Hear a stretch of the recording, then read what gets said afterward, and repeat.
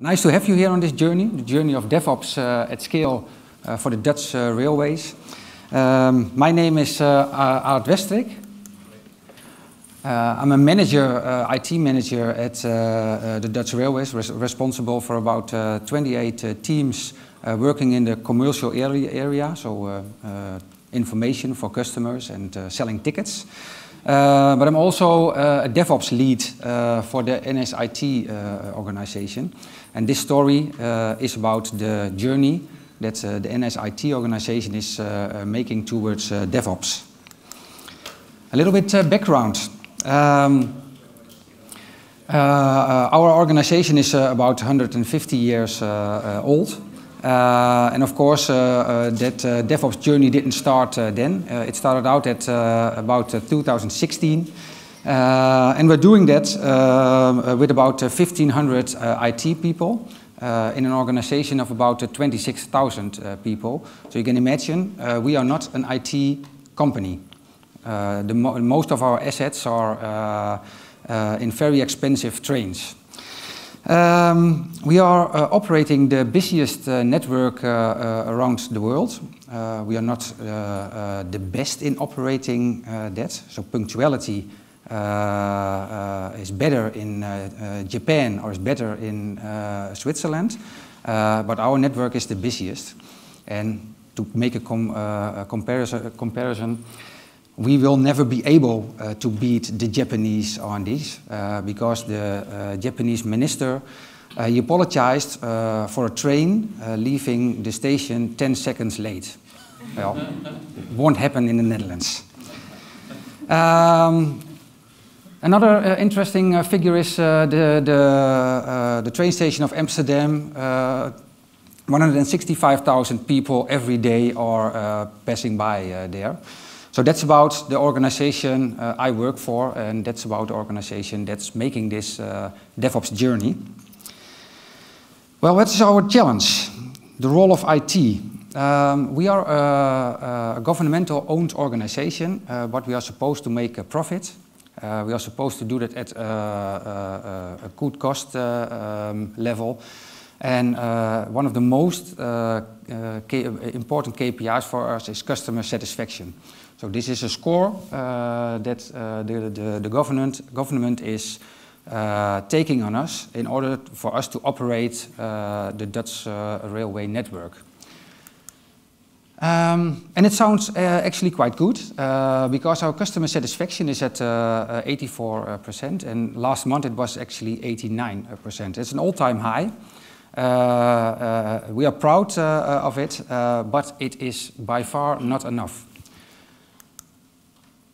because um, the public uh, transport will get stuck in the Netherlands. And why is that? Uh, uh, the, the problem in uh, the Netherlands is that um, uh, there will be no extra railroads uh, for the, couple, the, co the coming years.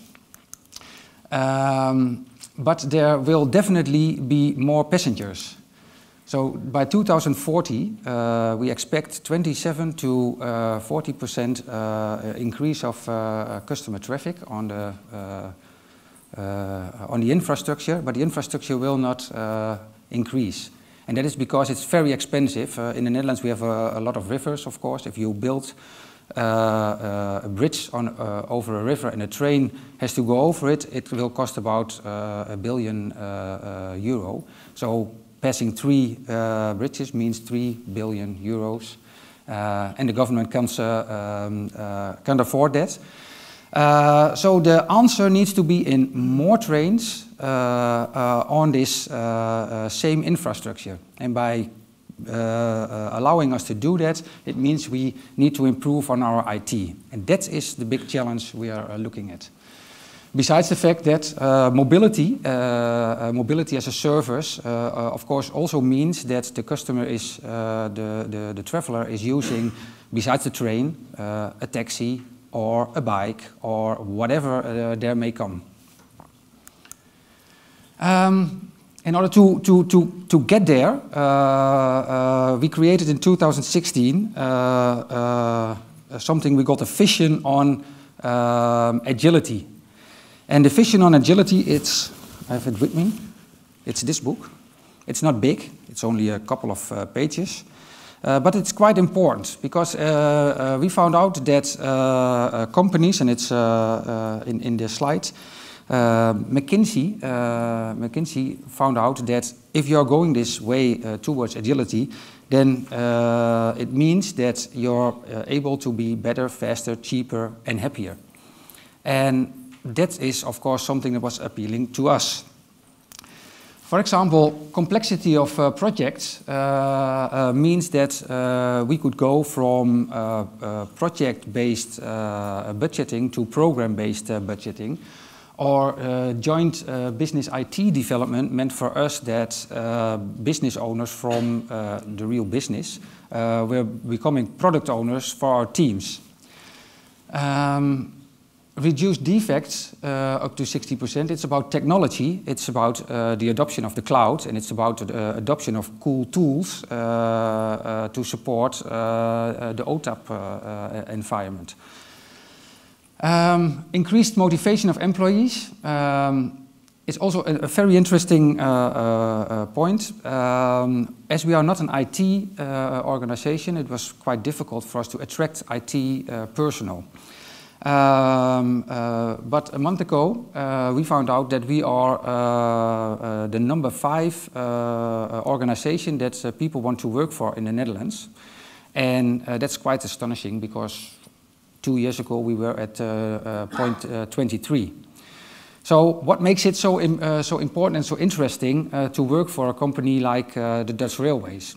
And of course, there is a lot to do because 26,000 does not equal 1,500. But it's also about what we are doing in our IT environment.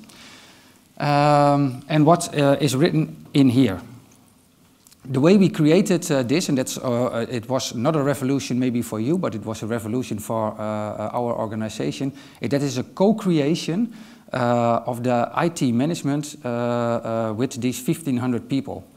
They reached out to find out, uh, uh, to these people, to find out, as you are an employer of uh, the Dutch Railways, how are you looking at agility? What do you think that needs to be changed? Now, and that's was quite different from everything we did before because uh, before that we were just in one room thinking of how uh, something like efficiency could be created for the rest of the organization. Um, let's go back to uh, 2016, the start of our journey.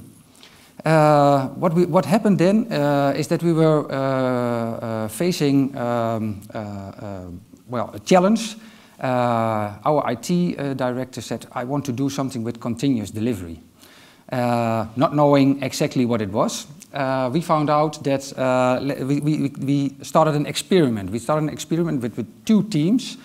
And for doing this experiment in a year, we learned actually that if you are going on this journey, this agility uh, journey, uh, then you need to do value stream mapping. Now, it's uh, uh, maybe uh, not so astonishing, but if you're in a team, you have no focus on what's going around you. It's, you have more focus on what's in the team. So what we found out is by value stream mapping, you create something uh, uh, from the start of an idea to the implementation of an idea, and you learn with who you are uh, working in that in that area. So by value stream mapping, we found out the easy things we could improve in, uh, uh, in processes. Uh, we used a, a maturity model, a maturity model 2016, it worked very fine uh, because it's a start and you can help a team finding out at what level they are or what next step they need to uh, uh, take to improve in getting agile or in getting, in getting better in continuous delivery or getting better in DevOps. I will come back to that later because nowadays that doesn't work anymore. Uh, feedback loops. Uh, feedback loops meant for us that we needed uh, screens uh, like this. Uh, the teams were working actually without screens. They had a lot of metrics, but uh, it was not visible. and we said, okay, if you have feedback loops, it, it's, it's easier to work together with other teams, but also with management on the things you're seeing. So it's visibility. And uh, continuous learning, it meant we had to uh, uh work on uh, adopting new tools, new technologies, uh, so learn about the new things in this world. In um, 2017, um, we got from two, with these learnings, from two to eight teams, and we supported these teams with, of course, very cool metrics on the uh, on the upper side. Uh, but from these uh, eight teams working in that way then, we also learned that we had to change from project to product and what it meant. Uh, we learned that a change run was change run. That's for us. It was the normal way of working. Was not uh, working anymore. We needed platforms, and uh, the central command to mission command. It meant that we could not ask managers to tell the teams what to build, uh, it should come from a different direction, product owners. Um, by learning that, and by learning, uh, uh, by, by the teams learning uh, uh, on that journey, um, we were asked, uh, so where do we need to go as an organization if we want to be 100% agile? So that meant every, everybody was agile. And 50% uh, DevOps. And to my opinion, I thought that 50% DevOps was about a great number of teams working DevOps uh, on a journey. But for a CIO, it meant something different. It meant uh, half of 126 teams. So I thought, well, one, half of 126 teams, that actually is uh, uh, 63. So actually, he expects us that we have 63 teams in 2020 working DevOps. And uh, if he uh, uh, means DevOps, he means in an agility uh, uh, uh, format that you can score being at Basecamp. Now, we have very interesting discussions on that because that is not what teams expect from management in uh, uh, their route towards more agility. Um, and actually, in 2019, we created this uh, uh, based on um, uh, uh what I learned last year here at the DevOps conference. Uh, Nicole Forsgren was uh, uh, explaining things about metrics and outcome-related metrics. Uh, so uh, uh, it meant that you had to do something with release frequency, so bring out your stuff faster and easier. it had also to do with um, how good you are at achieving the work that is in your backlog. The, and it is about, uh, and there's a lot of numbers about there, about um, incidents, incidents in production. And incidents in production for us meant if there are teams, then there, are, there should also be uh, people from operation in these teams so that the team can take responsibility for the product instead of only for the change. And uh, that uh, was a little bit a, mi a mind shifter also for our CIO. Uh, because from that moment on, we could have a discussion about not only about metrics, because he loves metrics and he uh, definitely wants to know whether we are at 63, 40, or uh, uh, 23 uh, teams. Uh, but we also shifted the discussion uh, towards a real valuable outcome. this was made by the reporting rebels. It's easy for me to use and find out what, what teams are experiencing and it's easy for me to ask questions about where we are uh, going. But it's not enough, because I told you uh, something uh, about uh, uh, um, uh, agility um, in a way um, that you use the levels that you can achieve. Um, if maturity is measured by somebody else than the team itself, then you get resistance if maturity is measured by the team itself, then something else uh, happens. Uh, we found out by a DevOps team uh, journey. And a DevOps, team journey is uh, something like a customer journey, but then for the teams in their route towards uh, uh, DevOps. And by focusing on their journey, we found out that the journey of all these teams is different. They have, a, they have the, the, the same uh, goal for, uh, uh, for set for themselves, but how they get there is different. One team needs more uh, uh, things done on metrics, one team needs more done about uh, cooperation with operations.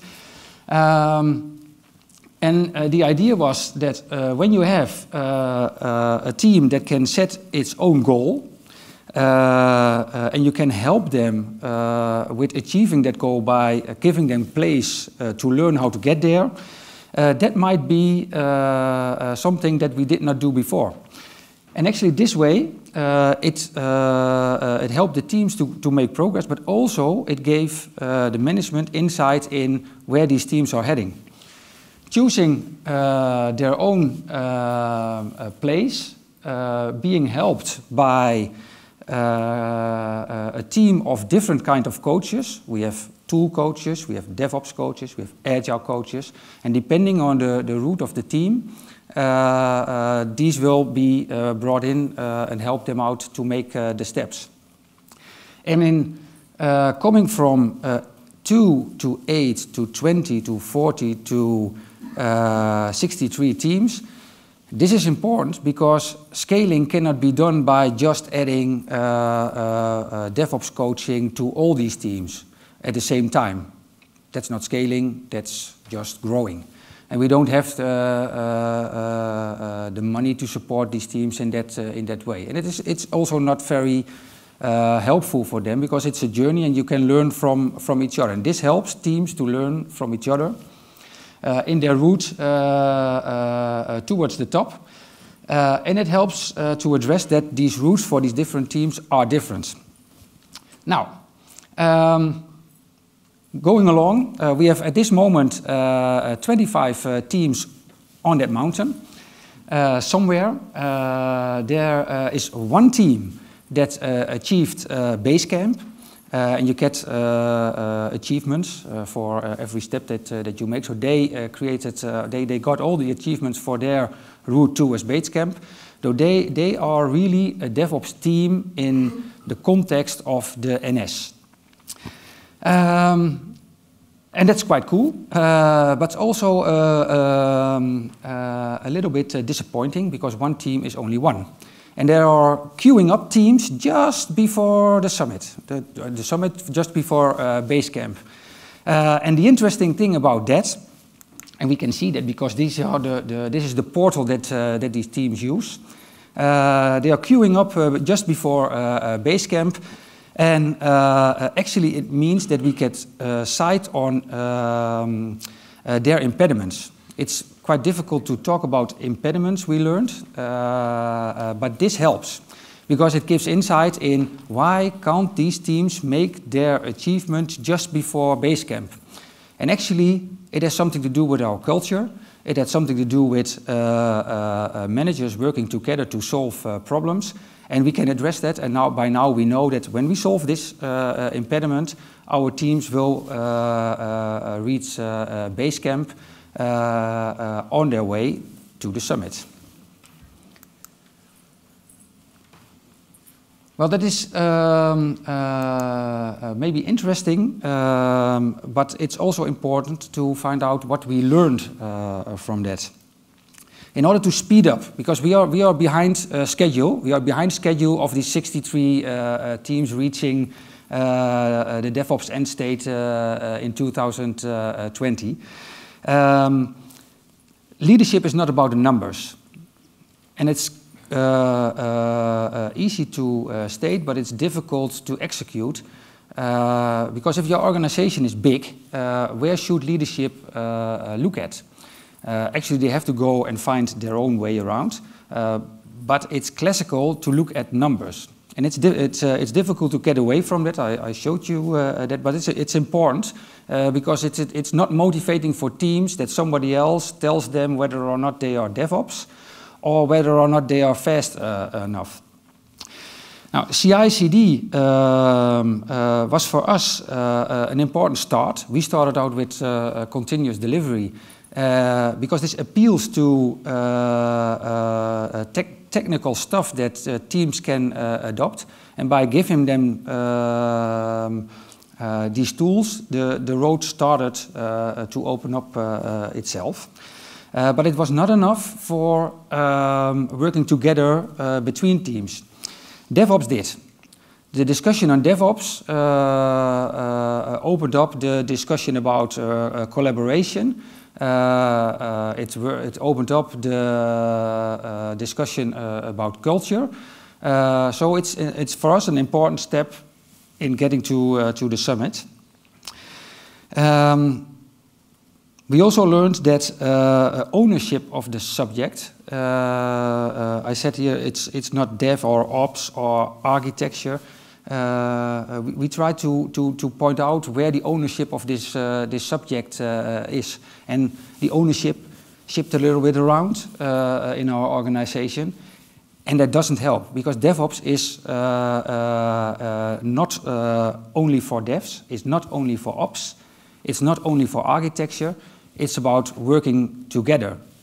So solving the problem of ownership uh, is an important one, and we didn't uh, quite succeed there uh, yet. Um, and the last one is that the most important thing for our manager, managers is to focus on impediments. And it's easy to look away from the uh, impediments, uh, uh, but actually it should be not about impediments that are coming to you, but it should be about impediments that you find out because you're looking at it. You should, you should go find uh, these impediments. And that's also quite something uh, challenging uh, for us to establish, uh, but it's, it's, it's a main important thing if you want to change something in the culture of the uh, organization. The most important lesson uh, that we learned, and that's uh, something between the difference in uh, working on a project uh, or uh, working on a product, uh, is tell them why, be patient and get surprised. Because when you work on a project, you have a fixed goal. And my experience with projects is while working on that goal, you get there, but you get there late and you get there maybe half or 90% or close to 100%, but you go never over it. And what happens when you uh, are starting to focus on a product, when you are starting to focus on a product, it might still be late, uh, but because the teams are working in an agile way, they, uh, uh, the end state of the product is uh, different than you uh, would expect as a, as a manager because you can't predict where it's going. But once it's always about the next best step, it might take a little bit longer, but when you get there, you will be surprised. And I'll show you an example of what that meant for us at the Dutch Railways. Um, Last year, uh, we introduced a new service. And that service is uh, when you fly in from uh, uh anywhere around the world and you uh, uh, come at Schiphol, the airport, then you can make a visit to the, the city of Amsterdam. And when you go on a visit to, to Amsterdam, you uh, probably the best uh, way to get there uh, is by train. And I'm telling you that because I'm from the Dutch railways, of course. Uh, uh, but it, it's, actually, it's actually quite easy. But we, we as an organization did not make it very easy. Because if you want to do that, uh, you couldn't, for example, you couldn't buy a ticket by Visa. It's stupid, but it was not possible. So what a, what a, a foreigner should do is buy a ticket, go to Amsterdam, to Schiphol, find the Trekpleister. Ever heard of the Trekpleister? Yeah. It's an amazing uh, store, but nobody from outside knows that. And there you have to uh, get a coupon to get on the train. It's a little bit a nasty process, uh, and uh, uh, customers uh, rewarded it with a 2.3 out of 5. we were not able to improve, but until this moment. what we did is we did an experiment with, with, with booking. Uh, uh, and we said we can improve customer uh, experience, experience and we can improve the use of the train um, by making it easy to buy this ticket. And how to do that is when booking, uh, when you, you, you book uh, something, uh, venue in, in, in booking.com, you can also order a train ticket.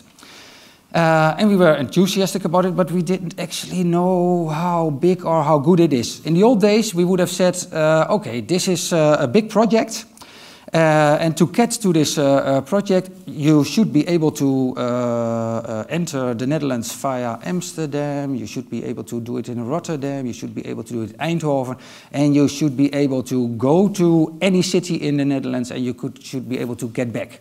But then it's huge. And we didn't know uh, if that would work. So uh, we created an, uh, an, MVP with a hypothesis because we wanted to know whether this is something that customers would value.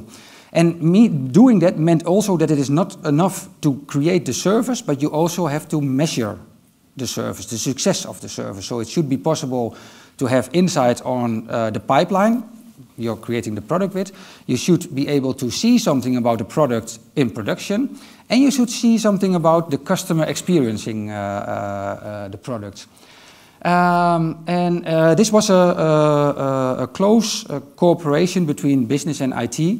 Uh, it was a small product because it, it was only able, you were only able to book it from on Booking.com if you go, go from Schiphol to Amsterdam and not back only from Schiphol to Amsterdam. Uh, uh, and what we uh, saw from it, it was really astonishing. People loved it. We got a, 4.5 out of, of, of 5 for, the, for the customer experience. And um, uh, the two, 1206 are the, the, the, the, number of tickets sold in the first month. Uh, uh, and that was, I think, we expected it uh, to be a little bit less than, than 1,000. And now you, you might think 20% is not that much uh, if it is uh, uh, over the expectation. But normally spoken, when we uh, do these big projects, uh, we also have the hockey stick. You're familiar with the hockey stick? It means that somewhere in the future, we are going to have a great number of profit from it, but not, not now. And what you saw here is that in the first month, we also sold more tickets than the people uh, working on this uh, service were uh, able to, to think of. They, they over exceeded, the numbers over uh, exceeded the expectation. And that was, um, that was great, so we are continuing on this uh, service. And everything in uh, the example I give you could only be done because we are on this, on this track for, uh, uh, for the DevOps uh, at scale at, the, at, at, at NS. So the, everything in place, everything that's, that was in place, makes it possible to do these kind of things. If we would have done this four years ago, we would not be able to measure success, we would not be able to deliver success, and we would not have been able to make success uh, uh, small. So that uh, uh, is an important uh, step for us. It's only a small examples. I, I, have more. I have also examples of things that did not work so well, but this was one of the examples I think it's important to, to share at, at a summit like this. Um, and to finish, uh, I have one more example uh, where you can see how uh, flexible the Dutch Railways as an organization has become. And it's this one. Isn't it awesome? okay, thank you uh, for your attention.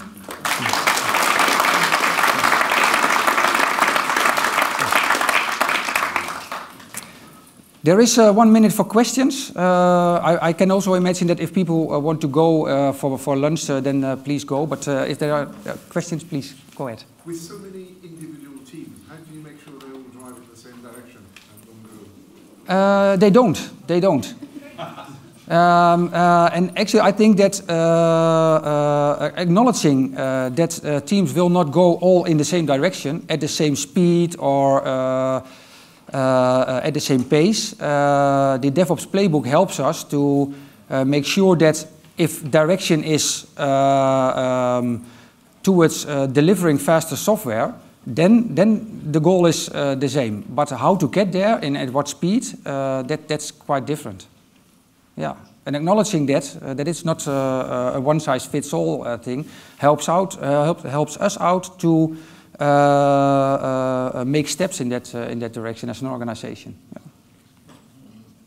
But that, that means they're not sharing a, a common platform. Is that it? Uh, that means that we want to go to a, a common platform, but we uh, uh, accept that at this moment it's more important to find out uh, what needs to be in that platform than uh, telling them now what the platform should be. So it's not that all these teams have, uh, are completely free in choosing, but by experimenting, we accept that teams are using tools that uh, might not be in our Topaz uh, uh, environment for this moment. Um, uh, but uh, when, it, when it works for them, it might also work for others, and it might be the best tool for the purpose at that moment. Uh, so yeah, yeah, So that, that means there's a vision uh, for a common platform in the future. that means that. Sorry. There's a, a vision for creating a, or building a, common platform in the future. There- yeah. You're correct about that, but we don't know what will be exactly in there. We know how to get there. Yeah, correct. Any more questions?